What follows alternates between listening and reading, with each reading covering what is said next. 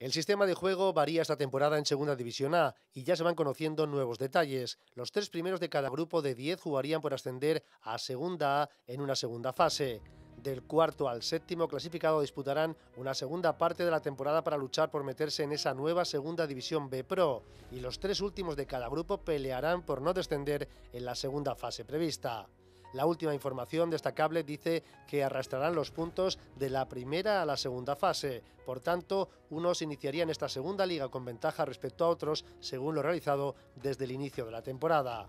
En esa segunda fase no jugarán todos contra todos, solo contra los rivales que procedan de otro grupo.